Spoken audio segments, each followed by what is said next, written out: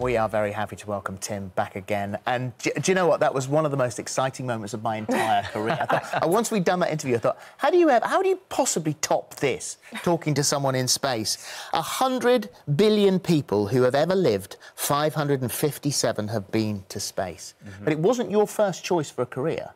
No, it wasn't. I mean, I started out as a teenager. I was absolutely passionate about flying. Uh, and so I applied to join the Army Air Corps, and I was very fortunate to get through that selection and spent 18 years having a fantastic career as a, as a military pilot. Yeah. And it was really the, the latter stages of my career, once I qualified as a test pilot, mm -hmm. that really opened the door to then applying to the astronaut corps. And did you, uh, when, when you applied, how, how much were you aware? Because this is all, all hmm. in the book here, the European Space Agency, the selection test book. First time this has really been seen to this degree. Mm -hmm. yeah. Were you aware what you were getting yourself into and how hard it was going to be? Not really. Uh, and that's part of the reason for writing the book. I think that is really to demystify the whole process of how we select astronauts and, and what we expect of astronauts. And, and more importantly, the next generation which is going to be fascinating, mm looking at returning to the moon and then going on to missions to Mars. And they're the skills we need from the next bunch of recruits. What was your biggest struggle? Um, in terms of the actual training, mm. it was hmm. learning Russian. Uh, I came from a very technical, scientific mm-hmm. background, mm -hmm. and so I didn't really have a problem with those aspects. But languages were never my strong mm -hmm. point, so learning Russian was, uh, was really quite hard. But, but I mean, this is learning Russian potentially to save your life. Absolutely, yes. I mean, in the Soyuz spacecraft, only Russian is spoken. All the documentation is in Russian. Um, and on board the space station, I had to help my two Russian colleagues do a spacewalk, so get them out safely. I might not be able to do this. You nearly walked at that stage. No, I, during the training, the great thing about it is they're very, very patient and very good. So mm-hmm. um, if somebody's struggling in one area, then the space agencies will put resources in to help you. So I went through the language course the same as my other colleagues and, and got to the required level. Mm. Um, but it was just the area that so I was, a, was there a moment where you thought, no, no, no, no, no, no? Never, but I think that the moment I felt the hardest in terms of the selection process was in the very early stages when, when they're testing what we call the hard skills. And mm -hmm. again, the, the, book's kind of broken down into the selection process and how we went through. And the hard skills are that, those kind of non-trainable skills. You've either got it or you haven't to some oh. degree. Very, very intensive day. Um, a whole bunch of tests thrown at you, mostly computer-based, uh, testing things like concentration, memory retention, spatial awareness, um, and all of these, these these kind of aspects, uh, and I found that very. Well, you've got a little test for us in a, in a minute. Um, uh, one of the ones is, is, in the uh, is in the gyroscope, and you uh, what you have to do, explain the test before we show what we've done. Explain the test. Okay, so uh, gyroscopes we sometimes use in, in our uh, selection and training mm -hmm. process. Uh, it helps to acclimatise you to some of the uh, sort of uh, uh, sort of perception that you might have in space. I mean, for example, when we're re-entering Earth's atmosphere, the spacecraft is tumbling for the initial stages, uh, fairly out of control. And at that same time, you're also having to focus and concentrate in the spacecraft on what the systems are doing and getting ready for re-entry.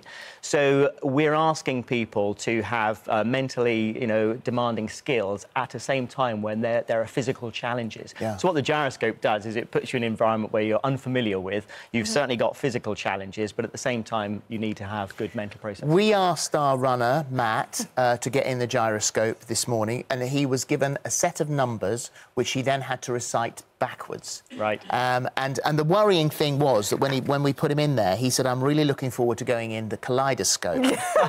we were really concerned. So we thought point. maybe his selection process had failed at that point. He then went, "Sorry, sorry, I meant the gyroscope." No, no, no, no, no, no, no, no. So anyway, here he is in the gyroscope, uh, trying to uh, recite those numbers backwards. Ah!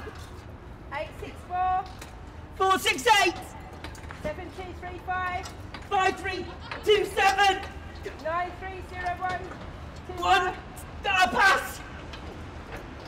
Zero seven four three five seven. Four three five zero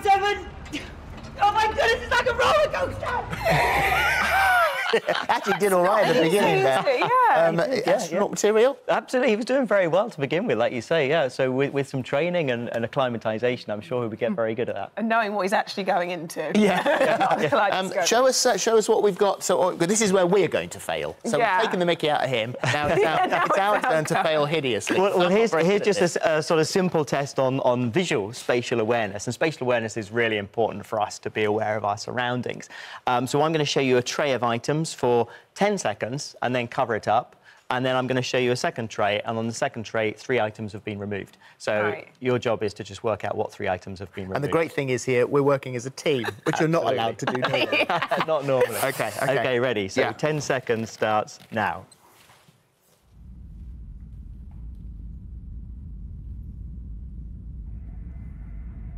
Three, two, one. Okay, that's it. Okay. Right. Yeah. So now for the reveal, let's find out what three items have been removed. a ring. Yeah, the ring is gone. Um, there was a.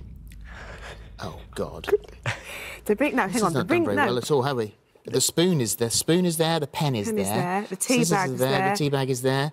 There was that. There was. um... Phil.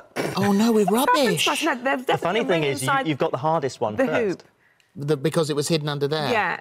Um, Oh no, we failed. we failed miserably. We failed. we failed. But it's the pressure of being on television. Yeah, Okay, okay, let's have a is. look and compare. Oh, The headphones, the biggest ones. It's the Oh, headphones no, with the biggest and the almonds. And the almonds as Headphones well. and oh, I almonds. knew Yeah. that. And, and what's interesting actually is, is you know situational awareness is, is not just visual, but it's, it's all of our senses. And uh, our brain actually processes sound 100 times faster than vision.